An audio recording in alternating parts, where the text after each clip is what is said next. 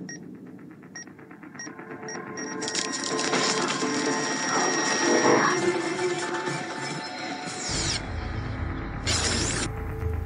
less than one hour, my research group is having a site visit from our government sponsor to decide the future of our funding. The annual progress report for another grant is due by 5 p.m., and a major research proposal has to be mailed out in a few minutes.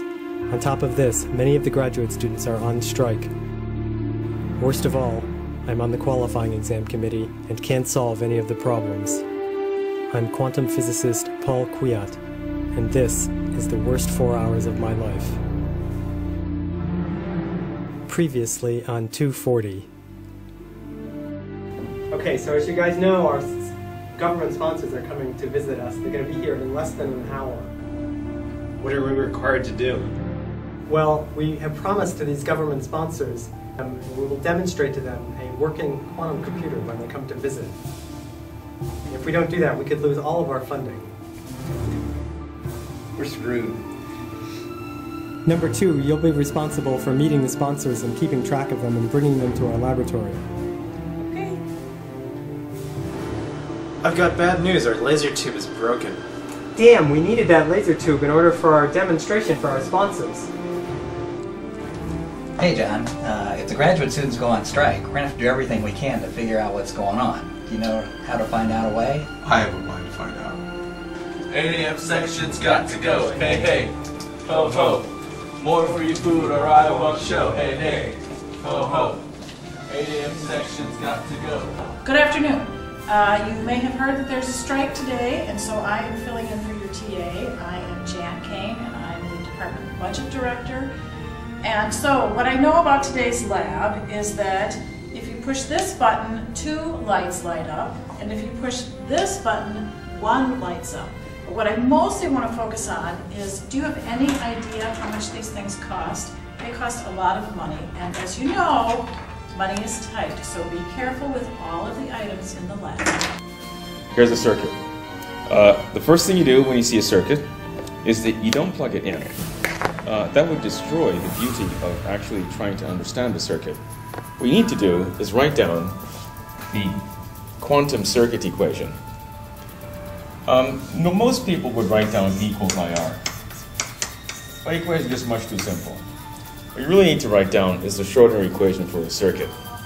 The Schrodinger equation for a circuit basically basically looks like the following.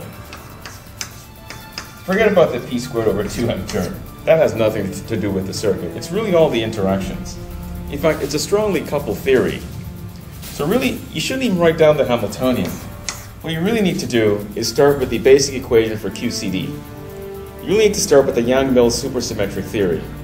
And once you have that, you can then start to figure out how the circuit works.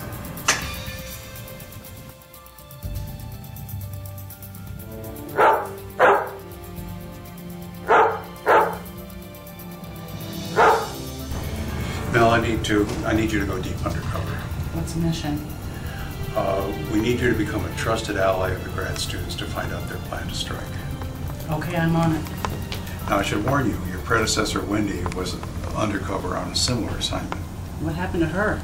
That's just it, we don't know.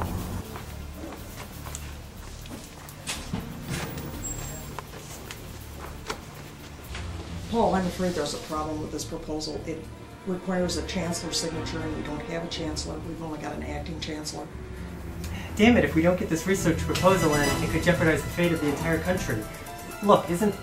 I know this isn't standard protocol, but couldn't we just copy the old chancellor's signature from some other document?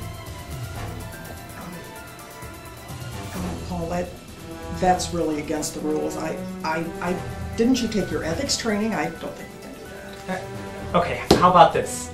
We just scratch something illegible in the space, and then what they interpret is up to them. Well, you can certainly do illegible. Um, okay, but I'm not really comfortable. Look, I'll take full responsibility. You can come visit me in prison, but if we don't get this thing submitted, there might not be any more prisons. Oh, okay. Uh, Paul, I'd like you to uh, work on this uh, classical mechanics uh, problem for the qual. Uh, What is it? It's uh, it's about a cow.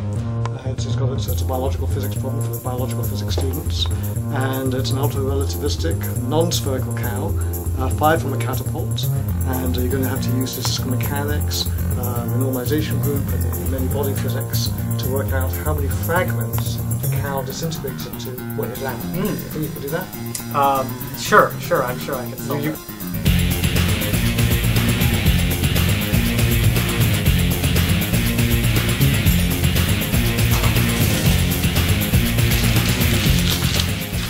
couldn't you made it a spherical cow?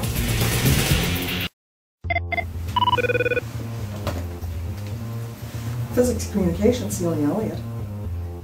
Celia, I'm in trouble. I have to submit my new NSF report, but I can't remember the password to my account. Do you have any idea what it is? Well, it's a woman's name and it rhymes with a female body part. Oh, okay, I'll get right on it.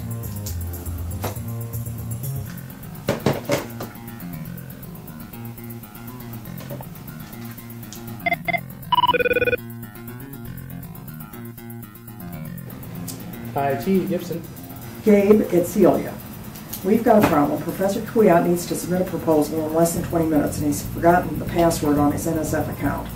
Do you have any idea what it was? He says it's a woman's name and it rhymes with a female body part.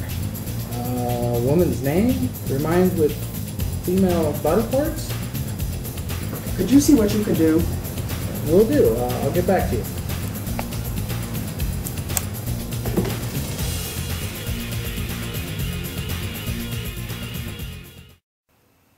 The following takes place in real time between 9:56 and 10 a.m.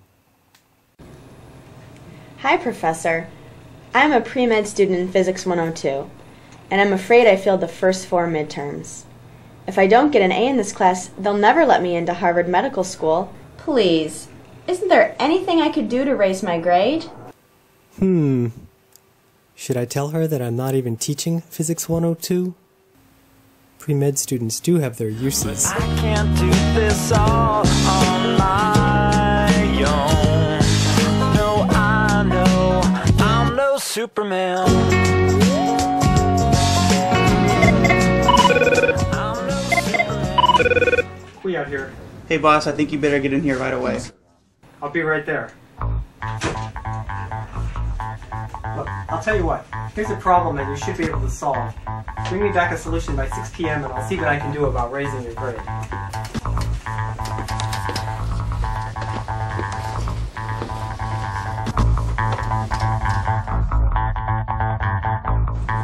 Number two, what's up? Boss, I just got word the sponsor just pulled up. Damn it, we needed that time. They're here early. Rhea, um, intercept them in the parking lot, take them to the lab, but bring them by way of the basement and ESV. That should buy us at least a little bit of time. Okay, on my way. Thanks.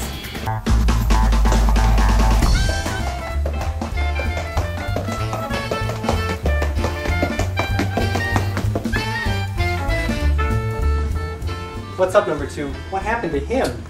Somehow it seems like he got an eraser stuck in his ear. We've been trying everything we can do, but we just can't seem to figure it out. But I think I have an idea. What, what is it?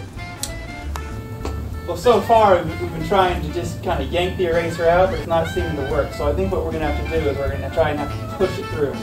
But, but we need him alive. Don't you have any idea?